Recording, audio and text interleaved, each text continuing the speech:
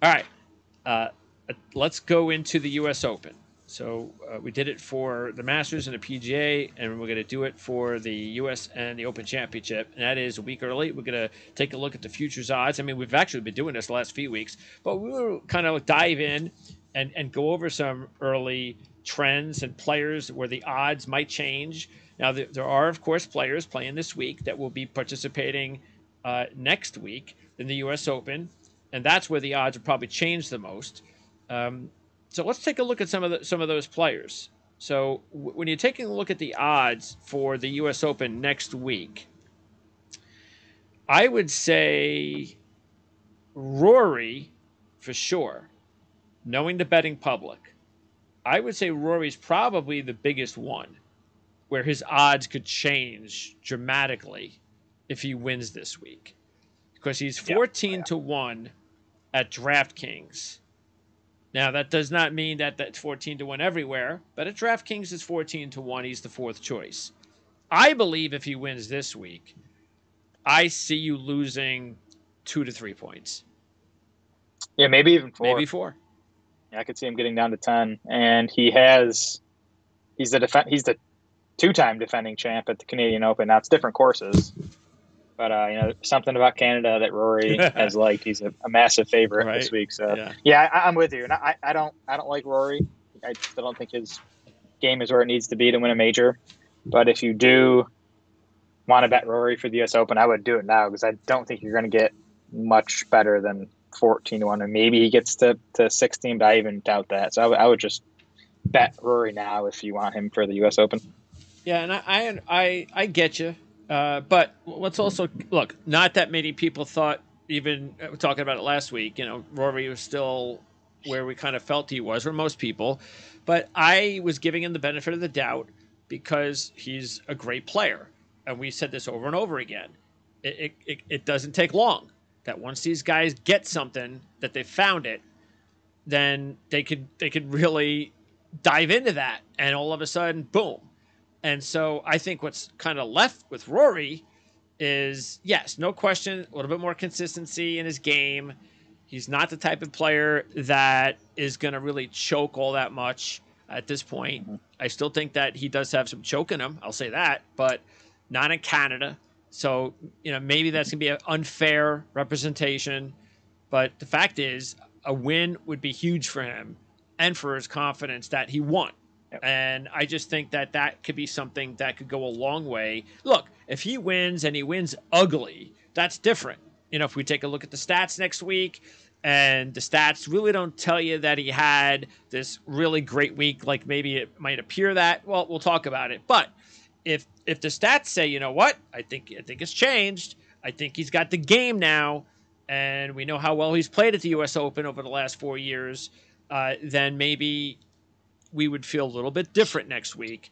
So the hard part though is is that we won't really like them if those odds do come down to like 10 or 9 to 1. We've said that over and over again.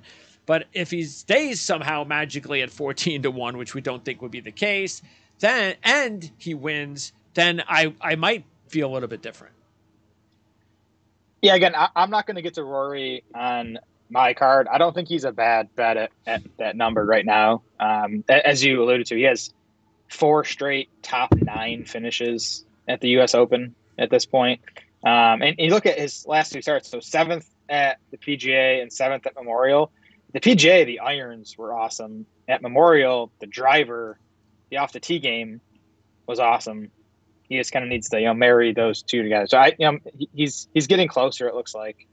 Um, and obviously, these U.S. Open courses tend to set up well for his game. All right. Now, overall, uh, taking a look early, and let's. Uh, now we mentioned Scheffler seven to one. So, if we're talking about the top contenders, and look, you mentioned Hovland. So Hovland. Now you said what? You you were able to get Hovland at your sports book at twenty five. 25 to 1 on that was on Saturday. Oh, on Saturday. Down. Okay, got it. Yep. Okay. Yep.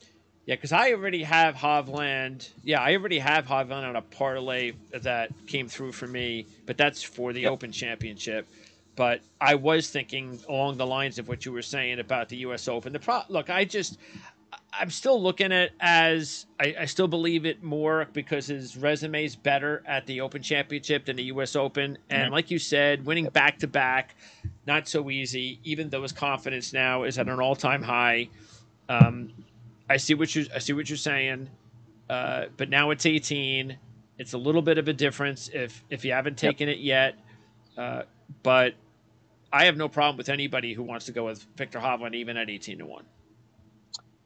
Either do I. I think right now, uh, you know, at a short time span, maybe the last month or two, Hovland's the third best player in golf right now behind Scheffler and Rahm. Um, I, I, I don't think 18's bad. He's a he's a positive putter on POA. He's had some good performances on the West Coast in the past. Um, he did miss the cut at the U.S. Open last year, but he went 13th and 12th in his first two appearances at the U.S. Open. So now Hovland's guy, I think, you know, as the shine kind of wears off last week's win a little bit, I think you could still get him at a you know 20, maybe a 22 next week. So he's not a guy I think you need to like rush to bet at 18 to one. Um, but but I'm a do. I don't. I, I wouldn't have any you know qualms with someone betting Hovland at 18 to one. Again, I, I think he's the, the third best player in, in golf right now. Actually, on Bovada, he's down to 16 to one. So let's yep. see. I'll just do a quick little parlay here as an example. So let's say you like Rory this week and you're going to take Hovland next week. So let's do a parlay with Rory and Hovland. And I'll put $2 down. And you can make a little bit over 200 bucks. Not bad. So again, if you think Rory's going to win this week and you like Hovland next week, just do that. Heck, why would I want to put 10 or 25 yeah. bucks on McIlroy uh, when I can do that if you really like Howell next week? Yep. So I Yeah, I'm, I'm just I'm just looking to here if you're listening and looking to bet Hovland, you have access to multiple sports books. He is he's 19 to 1 if you have FanDuel. The only thing is, is I mean, keep an eye on. Uh, I don't know. Maybe FanDuel does it. I just don't know how many do parlays. Oh yeah, I was, just talking about straight up straight for up, yeah. I'm not. I, I think you can do parlays on FanDuel, but so it's 19 to one there. Okay. Yep. Yep. Always always shop around if you have access to yeah. these books because you'll you'll definitely find differences. Sometimes big differences. All right. So let's see. Also for next week, um, now Schauffele, 16 to one at this point. That's not going to change. It's probably going to stay 16 to yeah. one so no rush there.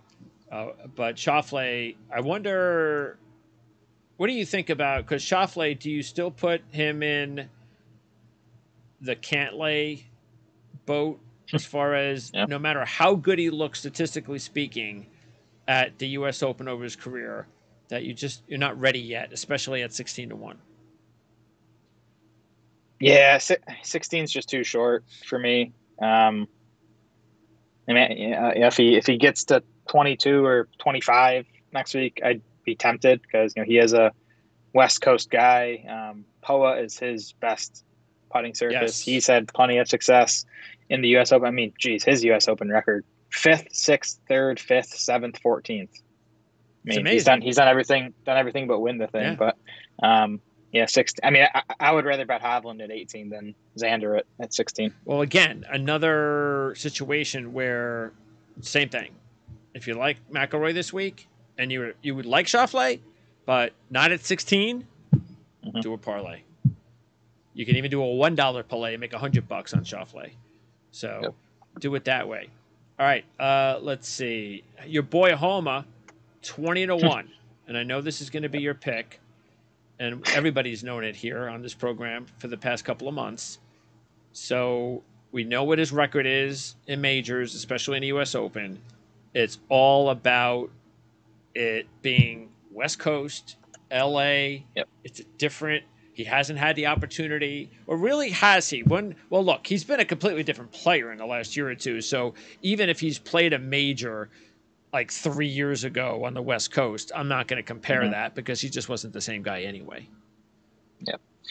Yeah, I like Homa next week. Um, and I'm sure I'll stick with him as a one and done pick, but I don't think I'd bet him at 20, 20 to 1. 1. Yeah. Yeah. Yeah, I think he was. Yeah, I think I have him at thirty-five. Yeah, that was better. I think he was. Yeah. Yeah. Are you Uh, surprised he he's twenty to could- one? I think he's twenty to one because the books have taken a lot of money on him to win this over the past two or three months. That's, so they're that's like, not no, a good sign. We're going to put the him. I don't like that at all. Well, I, I, they're they're putting him at twenty to one, so they don't take. You know, they don't want Oh, of to course. have yeah. exposure to him. So I, they're, I they're just basically don't like the fact that a lot of people like him. Yeah, no, I'm, I'm with you there. But yeah, again, getting him at forty to one Yeah. is you know a lot different than getting him at twenty to one. And look, this is what we're definitely going to do a lot more of starting next year, starting next season. So you, you want to be with us uh, from the get go. We'll, we'll be taking a look at all these futures for the majors early on in the season. Maybe even do, because we didn't do it this year, maybe we'll do like a, like a major future show uh, when the season begins. And maybe even every week starting next year, we could have like a, a short segment where we take a look at major futures, uh, players to keep an eye on. Because uh, you know, what would you say are your best major futures you've had this year? Uh, Brooks Koepka forty to one at the PGA was pretty nice. I, I I honestly don't bet a ton of futures It's, it's just when I see a number that stands out, it's just Sure. like a, it's a bad number. I get it. Um, you know, because the thing is with these majors, a lot of times they're on courses that we're not super familiar with. You know, outside of Augusta, obviously, these are courses we only see once every five or ten years. So like, I, I don't usually try to fire a ton until I feel comfortable with what how, what the course is and how it's going to play. But you know, when I see something like Brooks, when he, I, I bet him, uh, it was either the Thursday or Friday at the Masters, and he just was playing super Yeah. well, and that's Brooks Koepka at forty to one. So I just decided to hit that. But that's kind of just um, just stay on it. You know, look at those features numbers every so often, and you'll you'll, you'll find some gems every once in a while. Uh, what about what about Morikawa? Because Morikawa does have back-to-back top fives. Yeah. Nobody's going to probably. I, I think he's going to go fly under the radar because he hasn't Yep. played all that well. But we know he's more than capable, and he's very good on Poa, and he has a Mhm. lot of trends going for him. So look, Brooks Koepka and Morikawa have the same type of uh, mo, and maybe uh, maybe Morikawa will do uh, will pull a Koepka. Yeah, so I still don't think. So I mean, I guess the positive of Morikawa is, like you said, he's a California guy. He won the PGA Championship in California. He That's a is good one. Good. He's a good POA putter. He's he's actually he's a positive POA putter. He's negative on bent and Bermuda, so that's good. Uh, I I still don't think his game is like you know No. a plus Morikawa game. Plus he withdrew on Sunday at, at the Yeah. Memorial with back spasms. Yeah, that's not good. So yeah, he he said uh, he he said he thinks he'll be fine for the U.S. Open, but like I, I would I would not bet him Yeah. now. I don't He's like 20 the to twenty one. to I one. think. Yeah, I, I- think you'll get a twenty-five on Morikawa if you Definitely wait on him. next week. Absolutely. Yeah.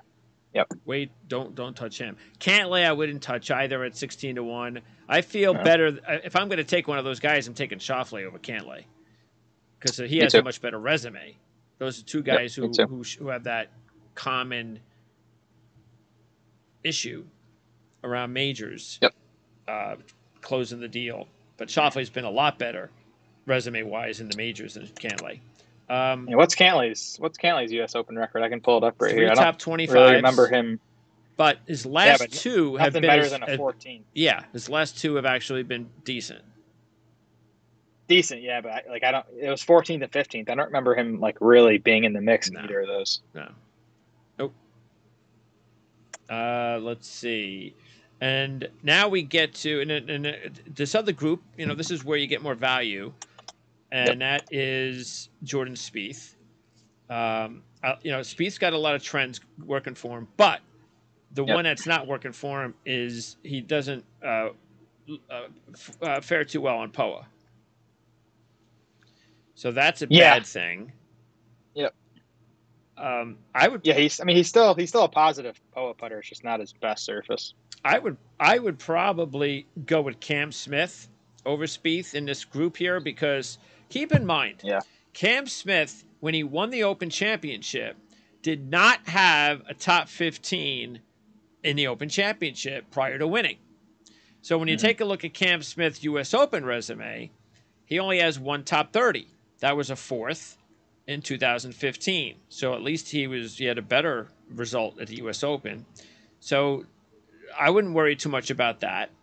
And you know he did have a pretty solid PGA, uh, finishing ninth.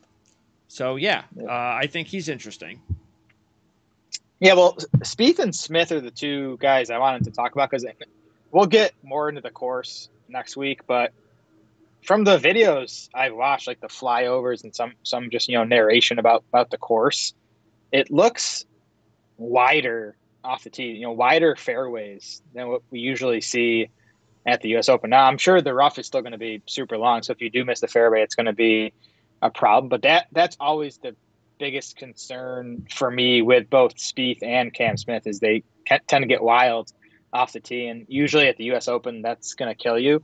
I, I think they might be able to get away with it a bit more on this course. Um, so Spieth's the one I like among the two. Um, Cam Smith is just I, I just don't you know these LIV guys, and I know you know Brooks you know, won in spite of I, I just you know I don't know exactly where their games are. Spieth continues to play well. He had that wrist thing. No, but, Cam um, Smith's still playing well. He's he's definitely playing the best LIV tour golf that he's played all season. Okay. Yeah, I mean, if that's the case, I do think he's interesting at this course. I do usually wouldn't bet Cam Smith at a U.S. Open. But just just from what I've seen, I think this course might might work for him. Yeah, because actually I asked Jan about that last week, and and she did feel that Cam because I was surprised too that she thought that Cam would actually. It's funny. So she thought that, right? And I was like, all right, cool. Mm-hmm. You know that that maybe I'll, I'll consider him. So sure enough, I went ahead and I uh, uh, one of the one of the drivers I liked in NASCAR yesterday, who won, Kyle Busch. I liked him, but it was like, eh, I don't want to put a whole lot of money on him. So I did. So I went ahead and I put a, a little bit on him to win, and then I, all right, I'll put whatever. I think I put a buck or two on him with Cam Smith in a parlay. Mm. So I have actually Cam Smith. What do I have him at? I already have him 500 bucks if Cam Smith wins nice. because of that. So I only did that because Jan uh, convinced me that uh, even though he doesn't have a good history, uh, that he that she felt that Cam Smith, uh, especially because of his overall game, not necessarily, uh, you know, he, we know he can get wayward on the tee, mm-hmm. but she feels, I guess, at this golf course that he'll, you know, that he could still, you know, make it work. But we'll talk more about that with her next week. Um, all right, so those are and and as far as uh, uh, and, and, oh, and Jason Day could be somebody to keep an eye on. He's got the win, so that's good. He has a good U.S. Yeah. Open resume. I know a lot of that is earlier in his career, but he's back to playing better golf. Mm. And then also the one that I really, really am starting. I mentioned this to you a couple of times early in the season when we were going over uh, players and matchups, and I and I mentioned Hideki Matsuyama at the U.S. Open. And now that he's finally starting to show glimpses, I really am starting to think more and more that, you know what? I kind of forgot about that because I think Matsuyama, the trends are all now again, just like Spieth, and eh, you know, Poa, not all that great for Hideki Matsuyama. Definitely worse on Poa than Spieth is. That's what I would be the most concerned with. But he has an underrated U.S. Open resume, and yep you know, he's coming in uh, again, playing a little bit better than he played earlier in the season, and you're getting thirty-five to one. So yeah, thirty-five to one is nice. Um, I not sure what happened to him over the weekend last week, but I mean the overall numbers were still decent. The irons have been great for a while. The off the tee stuff's kind of been up and down, but again, you can kind of get away with with more of that at this course, I think, from what I've seen. Um, yeah, and, and like you said, he's he's not he's not a good Poa putter, but it's it's his best surface and he's he's horrible on Bermuda. He's not great on bent. He's pretty much a neutral putter on Poa. So yeah, it's a, it's a good good spot for him. Um, you know, thirty five to one's fine. It's not a number I'd be like jumping at to hit right now. Sure. I think you might get a you know forty or forty five next week. But um, yeah, I think Hideki does set up pretty nice. And then uh, long shots, uh, the four that I have uh, circled uh, that you could decide whether or not you think these odds are going to come down. Uh-huh. I have uh, Rose and Fleetwood at 60, Scott at 65, yep. and McCarthy at 150. Yeah, well, I guess first for me, Sung Jae at 40. Um, now he he's not playing well over the last few starts now. Um, started at the PGA, right? Yeah, PGA Yeah. miscut 40 or He went on miscut that at the trip Charles too. Schwab, and yeah, he hasn't been the same since he came back from from Korea. But um, I still just think 41's too big for Sung Jae, so I think that's worth considering. Um, and then Scott's the other guy I wanted to bring up because he's an excellent Poa putter. Yes. He's like he's like top ten in Poa putting. Yes. He's not a great putter on the other other other surfaces. So you want to play Scott on Poa. Um, he's just he's had a nice season. I mean, he came ninth last week. Um, Yep. Kind of sneakily, didn't even realize that. 29th at the PGA, um, two straight top eights prior to that. So he's on a really nice run. Um, yeah, I think I think he's a pretty good value at 65. Yes. Um, that's exactly what I was thinking. The putter, the surface. Matter of fact, six top 15s in his last nine U.S. Opens. So he's actually played a lot better later in his career at the U.S. Open. Uh, so yeah, uh, I, I really like that one. Um, and you know what? I still think because you know you like Rose, you've actually been picking him lately, and Yep. uh, we talked about it earlier in the year, and he had, got the win. Uh, but I and we talked about it at the Masters, and I'm thinking, you know what? It it, it I think because of his resume, he's definitely been a better U.S. Open player than an Open Championship player. I still think at this point in his career he could win either, but I think this is his better shot at winning the U.S. Open. So, Mhm. um, Yep. And Bryson, Bryson's still 60 to he one. still is. I, I I bet him at that number um, right after the PGA. Um, I, I still think he's he's worth a shot at 60. All right. And anybody that's really uh, up there, like McCarthy, anyone that's like a real big number that you think? No, might- not not as of now. Not as of now. That's probably something where again, if I as I dig more into the course and I see something that you know might fit the course, I might you know hit a bomb or two. But nothing sticks out to me right now. Let's see notable names. Let's see uh, Mickelson. uh, Harris English uh, went on that run back to back years. I mean, I'll probably I'll probably end up betting Gary Woodland at a hundred to one just Gary 'cause, you know, Woodland. Another U.S. Open. You know. Two U.S. Open wins Yeah. for Gary Woodland. Boy, that would just be great. Gary Woodland would be. two U.S. Opens. All right, so there you go. We're going to talk more about uh, the U.S. Open, a whole bunch about the U.S. Open. Matter of fact, if uh, all goes well, uh, we might even be able to do the show live.